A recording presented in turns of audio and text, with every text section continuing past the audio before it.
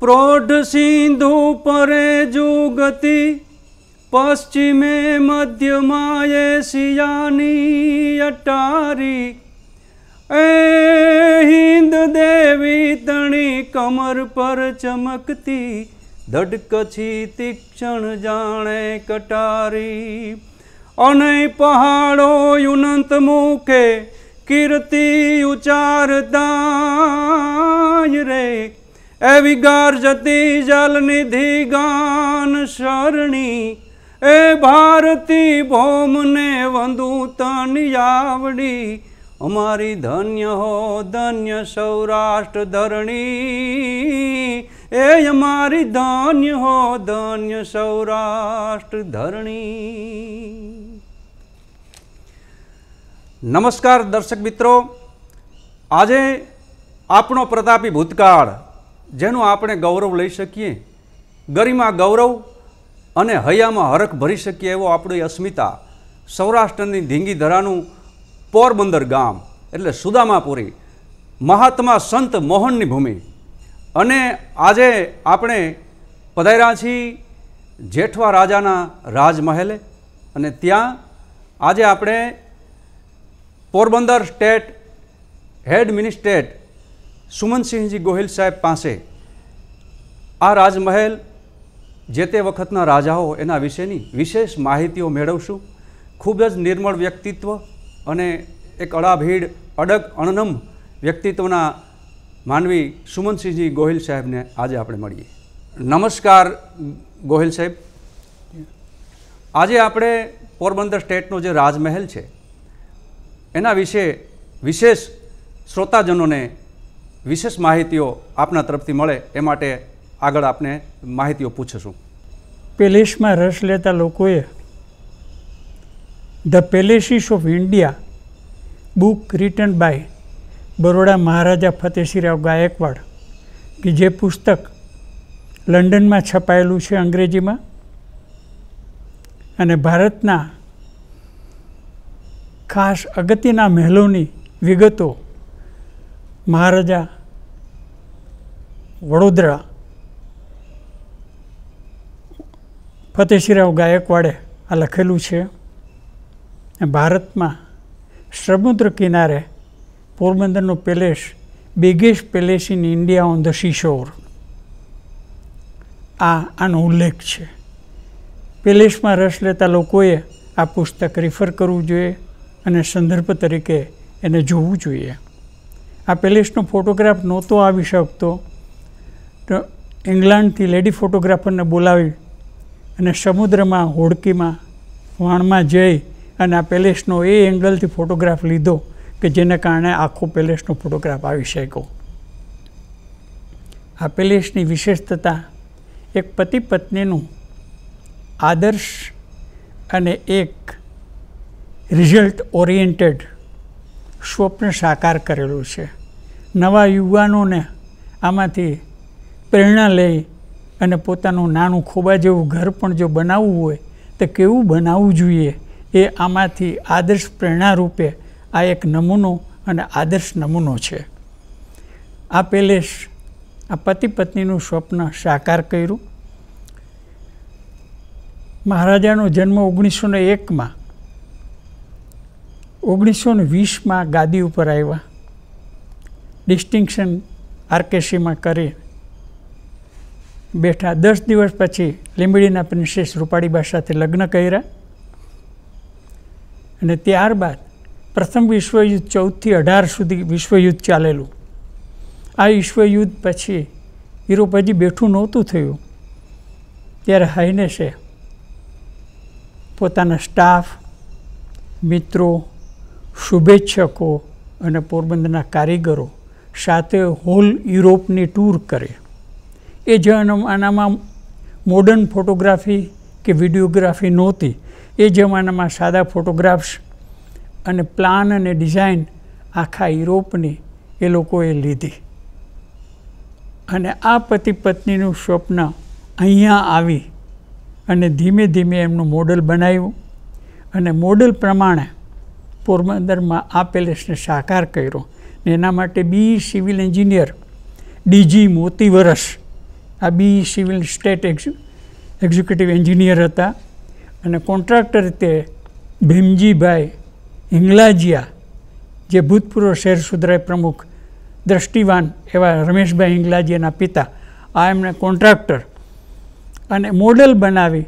આ એન્જિનિયર અને કોન્ટ્રાક્ટરને બાપુ જે રીતે મારાણી સાહેબ જે રીતે ગાઈડન્સ આપતા, એ રીતે સ્ટેપ બાય સ્ટેપ આ રૂમ પેલેસ બનાવવામાં આવ્યો.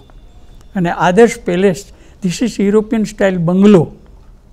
આ મહેલ નથી, આ યુરોપિયન સ્ટાઇલ બંગલો છે. Each and every room special identity દરેક રૂમની આગવી વિશિષ્ટતા છે.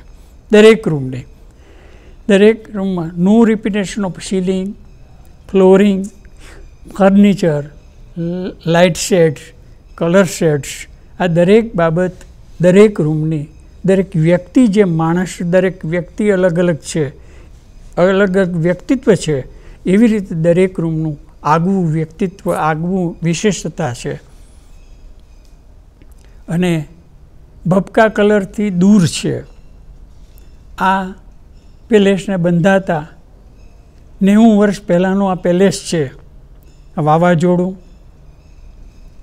સાયક્લોન જે કહીએ, ધરતીકંપ અને કંઈક એવી વિટમણાઓની વચ્ચે આજે પણ નેવું વર્ષથી ઊભેલો છે. નેવું વર્ષ પહેલાં concealed wiring forty intercom dial system, પીઓપીનું ninety percent of the work, bamboo પીઓપીનું છે. બાકીનું દસ ટકા શીટ પીઓપી અને પ્લેન પીઓપી છે. આખા પ્લેસમાં બોઇલર સિસ્ટમથી ગરમ અને ઠંડા પાણી. અને નેવું વર્ષ પહેલાં ટાઈમિંગની બાબતમાં, સમયની બાબતમાં બહુ અળગ અને ચોક્કસ હતા. અને એને કારણે એક નવો જ વિચાર મૂક્યો. આજે પણ આટલી એકવીસમી સદીમાં પણ હજી આપણે એને અમલવારી નથી કરી શક્યા. એવી કરવા જેવી મોટી મહત્ત્વની અગત્યની વાત એ છે કે એક રૂમની સાથે બે એટેચ બાથરૂમ હોવા જોઈએ દરેક જગ્યાએ. કે nobody can clay blame to each other કે આને કારણે અમે મોડા થયા. તમારે ટાઈમસર આવવું જોઈએ ટાઈમસર ટેબલ ઉપર આવવું જોઈએ ટાઈમસર મિટિંગમાં આવવું જોઈએ. તો એટેચ બે બાથરૂમ બે દરેક રૂમને હોવા જોઈએ. આ વિચાર અપનાવવા જેવો છે. આજે એકવીસમી સદીમાં પણ હજી આ વિચાર અપનાવાતો નથી. એ બહુ દુઃખદ ઘટના છે કે જેને કારણે આપણે સમયની બાબતમાં આપણે બહુ પાછળ રહી જઈ જાય છે આ ટાઈમ મેનેજમેન્ટની બાબતમાં, એન્વાયરમેન્ટની બાબતમાં એન્વાયરમેન્ટની બાબતમાં પણ, પર્યાવરણની બાબતમાં આજે આપણા માટે નવો વિચાર લાગે છે. એ નવો વિચાર એણે નેવું વર્ષ પહેલાં અપ્લાય કરેલો. Each and every window landscaping અને કુદરત સાથે તમારું તાદાત્મ્ય મળી શકે. તમે ટેન્શનમાં કે મુશ્કેલીમાં હોય ને એક બારીમાંથી કે એક બાણું ખોલીને તમે જીવો તો કુદરત સાથે તમારું તાદાત્મ્ય થાય અને તમે રિલેક્સ થઈ જાઓ. એનું ફર્નિચર પણ તમારું આંધળું અનુકરણ કરીને માણસે પોતાના ઘરમાં ફર્નિચર પણ વસાવવા ન જોઈએ. ફર્નિચર એવું હોવું જોઈએ કે જે માણસની એફિશિયન્સી વધારે પોતાનો થાક ઉતારે અને વધુમાં વધુ પોતાની એફિશિયન્સી આવે. આ વસ્તુ અપનાવવા જેવી વસ્તુ છે. આ આ પેલેસની અંદર એણે આખા વર્ષ દરમિયાન હવા અને ઉજાસ, સૂર્યનો પ્રકાશ, આ બધી વસ્તુ સહેલાઈથી માણસને મળી શકે, વધુમાં વધુ મળી શકે ઓક્સિજન, એ વસ્તુની વસ્તુનું ધ્યાનમાં રાખ્યું મોટાભાગના રાજ્યો પોતાના મહેલની ઉપર સિમ્બોલ પોતાના રાજ્ય ચિહ્નો મૂકે છે. તલવાર કે ઢાલ મૂકે, કે શક્તિનું બીજું પ્રતીક મૂકે. આણે ભારતની અંદર ઇન્ટરનેશનલી પ્રૂવ ઓમને એને તોરણમાં લીધો છે. આખા પેલેસને તોરણમાં આખા ઓમને લીધો છે. અને સૂર્ય સિવાય માણસનું અસ્તિત્વ નથી. એ સૂર્યને મુખ્ય મહત્ત્વના પરિબળ તરીકે સૂર્યનું ચિહ્ન મૂકવામાં આવ્યું છે. આ બે વસ્તુને મોટામાં મોટું મહત્ત્વ એમણે આપ્યું છે વર્તમાન પરિસ્થિતિમાં ઊંચામાં ઊંચા સિમેન્ટથી ઊંચામાં ઊંચી સામગ્રીઓથી આપણે મકાનો બનાવીએ છીએ. પણ એ મકાનનું આયુષ્ય વધુમાં વધુ પચીસ ત્રીસથી પાંત્રીસ વર્ષનું છે. ત્યારે આ જ વર્ષોથી અનેક હોળીઓની જાળું અને અનેક દિવાળીઓ ગઈ. પણ આજ પણ આ રાજમહેલ અણનમ અભેદ અને અડગ કારની થપાટો વચ્ચે ઊભો છે. ત્યારે ગોહિલ સાહેબને આપણે પ્રશ્ન કરીએ કે ગોહિલ સાહેબ, એવી કઈ સામગ્રીઓ, કયા પદાર્થો આ રાજમહેલની અંદર ઉપયોગ થયા છે, એના વિશે દર્શક મિત્રોને માહિતી આપો. આ પેલેસની ઊંડાઈ જેટલી એનો પાયો છે, આ પેલેસની જેટલી ઊંચાઈ છે, એટલો રેતીમાં એનો પાયો છે. અને આપે ટાઇલ્સ ઉદ્યોગની ફેક્ટરીઓ જોઈ હશે, એમાં મશીનોમાં ગ્રેડેશન હોય છે. First class second class third class ગ્રેડની તમારી ટાઇલ્સો તમે નક્કી કરો ને એ પ્રમાણે કિંમત ચૂકવીને ખરીદો. એ વખતના કારીગરો એટલી બધી સૂઝ અને આવડતવાળા અને હોશિયાર હતા કે પથ્થરોના ગ્રેડ નક્કી કરી શકતા અને ત્રણ પ્રકારના પથ્થરો એમણે પસંદ કરી અને પોરબંદરની જે, મોટે ભાગે જે તે ભૌગોલિક સ્થિતિને ધ્યાનમાં લઈ અને એ વિસ્તારની વસ્તુ અને મટીરિયલનો ઉપયોગ કરવામાં આવે તો એનું અસ્તિત્વ વધુ હોય. પણ એ ભૌગોલિકની વિરુદ્ધમાં કોઈ પણ વસ્તુ વાપરવામાં આવે તો એનું અસ્તિત્વ ઓછું હોય. તો પોરબંદરની વસ્તીમાં, પોરબંદરના વિસ્તારમાંથી જે વસ્તુ પથ્થરો મળતા, એ કઠણિયા પથ્થરો ફાઉન્ડેશનમાં, ઘોડા પથ્થર અને ઘોડા પથ્થરનો ઉપયોગ અને ફર્સ્ટ અને સેકન્ડ ગ્રેડના એ લોકો એની આગવી સૂઝથી કારીગરો નક્કી કરતા, એ પથ્થરો પસંદ કરી અને એ પથ્થરોમાંથી આ મેલ બનાવવાને કારણે આજે અડીખમ આ પેલેસ ઊભો છે. દર્શક મિત્રો, ગોહિલ સાહેબે ખૂબ જ સુંદર મજાની વાત કરી બાંધકામની વિશેષતા વિશે. મોટા મોટા બંગલા હોય, મોટી મોટી મેળીઓ હોય, પણ એની અંદર રહેનારા માણસોમાં વિવેક ન હોય. જે આર્થિક સમૃદ્ધ હોય, પણ વૈચારિક અસમૃદ્ધ હોય, તો એ જીવનમાં પરમ મધુતા નથી લાવતું. ત્યારે આદરણીય સુમનસિંહજી ગોહિલ સાહેબે, નટવરસિંહજી બાપુ એનો વિવેક, એની પ્રજા પ્રત્યેની પ્રીતિ, નાનામાં નાના માણસ તરીકે એનો આદર એક અદ્ભુત ને અનન્ય છે. એવું ગોયલ સાહેબને આપણે વિનંતી કરીએ કે માનવ સમૂહને એક પ્રેરક સંદેશો મળે કે દરેક વાણીને વિવેકથી મઢીને બોલવી. એના વિશે ગોયલ સાહેબને આપણે વિનંતી કરીએ કે આ વાત કરે. પોરબંદરના રાજવીનું વ્યક્તિત્વ કેવું હતું? અમારા માટે એ સમયમાં મારી હરોળના વિદ્યાર્થીઓ પોરબંદરના રાજવીને એક આદર્શ રાજવી તરીકે ગણતા. જીવન કેવું હોવું જોઈએ, માણસનું વ્યક્તિત્વ કેવું હોવું જોઈએ અને કેની જેવું બનવું જોઈએ અમારા સૌની એમના પ્રત્યે આ દ્રષ્ટિ હતી. અને આ આદર્શ રાજવી જેવું બનવાની અમારી કોશિશ હતી.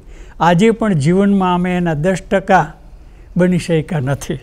એવું આદર્શ વ્યક્તિત્વ હતું. એકે એક બાબત એમના સદ્ગુણોથી ભરેલી હતી. એકે એક વિષયમાં એ નિષ્ણાંત હતા. અને વિવેકની બાબતમાં અનન્ય વિવેક એનામાં હતું. જીવન પર્યંત એમણે કોઈ પણ વ્યક્તિને તુંકાર શબ્દનો ઉપયોગ કર્યો નથી. જીવનમાં બહુ મોટી વાત કરીએ તો ઓગણએંશી વર્ષની ઉંમરે દેવ થયા ત્યાં સુધીમાં મેં કોઈ દિવસ એમને ગુસ્સે થતા જોયા નથી. કેટલી મોટી વાત. અને એક એક વ્યક્તિની કોઈ પણ પ્રકારની લાગણી ન દુભાય એનું સતત ચિંતન અને સતત ધ્યાન રાખતા. અને પોતાના દ્વારા તો નહીં પણ અન્ય દ્વારા પણ કોઈની લાગણી દુભાય નહીં એની ખૂબ જ તકેદારી રાખતા. આવું એમનું જીવન આવું એમનું વ્યક્તિત્વ હતું. એકે એક વિષયોની બાબતમાં એમની લાઇબ્રેરી અંગ્રેજી ગુજરાતી હિન્દી સંસ્કૃત અને મરાઠી સાહિત્ય ઓહો. આ સહિતને એમની લાઇબ્રેરી જે બ્રિટનની લાઇબ્રેરી કહેવાય એનું એક મિની સ્વરૂપ પોતાની લાઇબ્રેરી અને પોતાનું સતત એની ઉપર ચિંતન, મનન, અભ્યાસ અને એ વાંચી અને એ વસ્તુ વધુમાં વધુ પોરબંદરની પ્રજા અને પોરબંદરના લોકો લોકભોગ્ય બને એના માટેના એમના સનિષ્ઠ પ્રયત્ન હતો.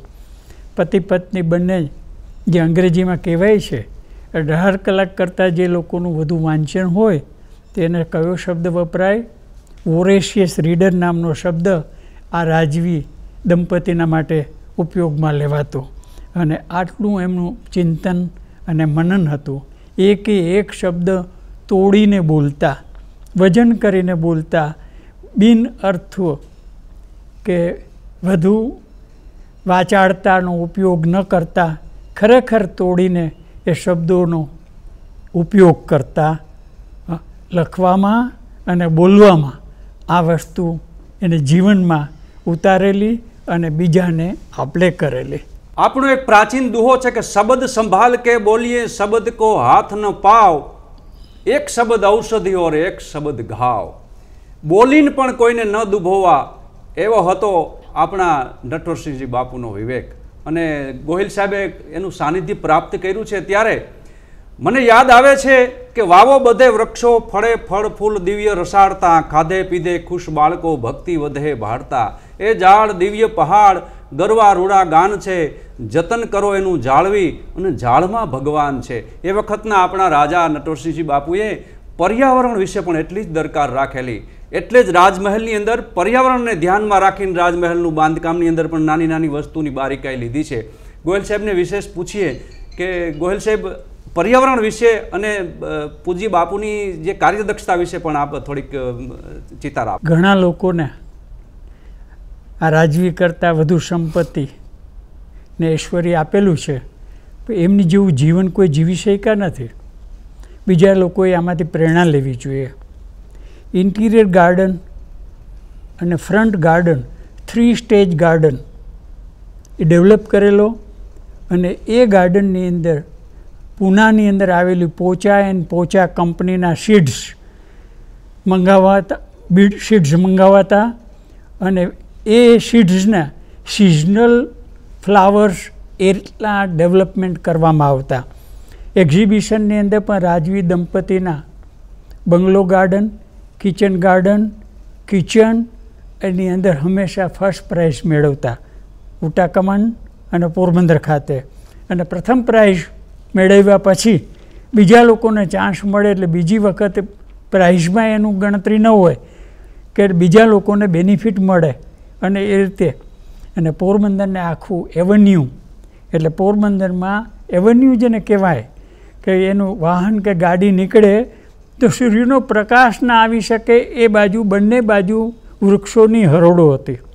અને એક ડાળખી પણ જો તૂટી હોય તો એના અધિકારીથી માંડીને એના કર્મચારીની બાબતમાં ખુલાસો પૂછવામાં આવતો કે આ ડાળખી કોણે તોડી છે અને પોરબંદરના ઇતિહાસ માટે કહેવાય છે બહુ અગત્યની વાત છે બરડાની અંદર જે વનસ્પતિ ઔષધો મળે છે એના માટે આગલા રાજવીએ પૂર્વ રાજવીએ જયશંકર ઇન્દ્રજી નામના કચ્છના નિષ્ણાંત પાસે બરડાની ઔષધિ વનસ્પતિ નામનું દરદાળ ગ્રંથ. પોરબંદરમાં બહાર પડેલો છે એ અત્યારે પ્રવીણ પ્રકાશને નવો એનો નવી આવૃત્તિ બહાર પાડી છે. આ લોકોએ જોવું જોઈએ અને પર્યાવરણની બાબતમાં બહુ સાવધાન, બહુ સાવચેત હતા અને એ જમાનામાં અર્થન ડેમ, જે માટીનો ડેમ કહેવાય, એવો એ રાજવીએ પોરબંદરનો ખંભાળા ડેમ, એમણે અર્થન ડેમ આજે પણ અડીખમ ઊભો છે, જે માટીનો ડેમ તરીકે ઓળખાય છે. એ ડેમ એની એક ચિરંજીવ સ્મૃતિ છે. આ ધરતી ગોપાલક કૃષ્ણચંદ્ર મહારાજની આ બરડાની પ્રાગરાળ ભૂમિ છે. ત્યારે બરડાની ઔષધિઓ, ઔષધિ કોઈ કારખાનામાં નથી બનતી. એ પ્રકૃતિનો સ્વામી પોતે જ બનાવે છે. જેમ ઘઉંનો દાણો કે પાણીનું એક બૂંદ કારખાનામાં ન બની શકે, એમ ઔષધિ પણ પ્રકૃતિનો સ્વામી પોતે જ બનાવે છે. ત્યારે આપણા ભારતના મહાન ઋષિઓ, ચરક ઋષિ, ભાવ નિઘંટુ, ભાવ પ્રકાશ, હિન્દુસ્તાનનો વૈદરાજ ધર્મંત્રી આવા મહાન ઋષિઓએ આપણે આયુર્વેદના મહાન ગ્રંથો આપ્યા છે. પણ એથી વિશેષ એની સાથે એક અણનમ અભેદ અને અડગ એક ગ્રંથ આપ્યો છે, બરડાની ઔષધિઓ, બરડાની વનસ્પતિઓ. એ પણ પોરબંદર સ્ટેટની ઉપજ છે, એની દેણગી છે. ત્યારે ગોયલ સાહેબને આપણે એક સરસ મજાનો એક પ્રશ્ન એ પૂછવો છે કે ગોયલ સાહેબ, જે તે સમયમાં નટવરસિંહજી બાપુના વખતમાં જે કાર્યદક્ષતા હતી, જેની વિશેષતા હતી, સાંસ્કૃતિક મૂલ્યો હતા એ વિશે થોડોક શ્રોતા મિત્રોને જણાવો. આ રાજવી મેં આપને વાત કરી તેમ, દરેક વિષયોની અંદર રસ લેતા અને એનું ઊંડું જ્ઞાન ધરાવતા. એ વખતમાં રાજકવિઓ ઉપરાંતમાં મેરુબા ગઢવી અને પિંગળસિંહભાઈ ગઢવી પણ આ રાજની અંદર. અને એ લોકસાહિત્યની અંદર અને સતતપણે દુલાભાઈ કાગ અને લીંબડીના રાજકવિઓ અને વાંકાનેરના રાજકવિઓની સાથે સતત સંપર્કમાં રહી અને લોક સંસ્કૃતિને ઉજાગર કરવા માટેના એમના સનિષ્ઠ પ્રયત્નો હતા અને એ પ્રકારના કાર્યક્રમોનું આયોજન કરતા. પોરબંદરમાં, પોરબંદરના હવેલી સંગીતને પણ એટલું પ્રોત્સાહન આપતા, સ્પોર્ટ્સ અને સંગીતની બાબતમાં પણ એટલું પ્રોત્સાહન આપતા એની બાબતમાં, આદર્શની બાબતમાં કે ઓગણીસો ને પિસ્તાલીસમાં ઓલિમ્પિક બેઝની રમતો ભાવનગર રાજ્ય અને પોરબંદર રાજ્ય આ બે રાજ્ય રમાડતા. ઓલિમ્પિક બેઝની જે રમતો કહેવાય ને, એમાં મેરેથોનનો રોડ, મેરેથોન એ સાડી બાવીસ માઇલની સ્પર્ધાઓ યોજાતી. એમાં પ્રથમ સાહીઠ ને પાસઠ વર્ષના લોકો જે આવતા, પ્રથમ બીજા અને ત્રીજા કે જે નોન સ્ટોપ આવતા no glucose no lemon no stop અને સાહીઠ ને પાસઠ વર્ષના માણસો પહેલે બીજા અને ત્રીજે નંબરે આવતા. અને આ પ્રકારની રમતોનું આયોજન, એને આ રીતનું આયોજન. પોરબંદરની સ્પોર્ટ્સ ક્લબ જે નટવરસિંહજી ક્લબ પાછળથી થયું. આ રાજુએ પોતાના રાજ્યકાળ દરમિયાન પોતાનું સ્ટેચ્યુ પણ ક્યાંય મૂક્યું નથી. કે પોતાના કાર્યકાળ દરમિયાન પોતાના નામની સંસ્થા પણ ઊભી નથી કર્યું એમના જીવન બાદ નટવરસિંહજી ક્લબ ઊભી થઈ. પણ આ રાજવી આદર્શ રાજવી હતા. છતાંય પોતાના નામ ઉપર કોઈ પણ સંસ્થા ઊભી નહોતી કરી કે પોતાનું સ્ટેચ્યુ પણ મુકાવ્યું નહોતું. આ પ્રકારના આદર્શ રાજવી એ પોરબંદરના રાજવી હતા.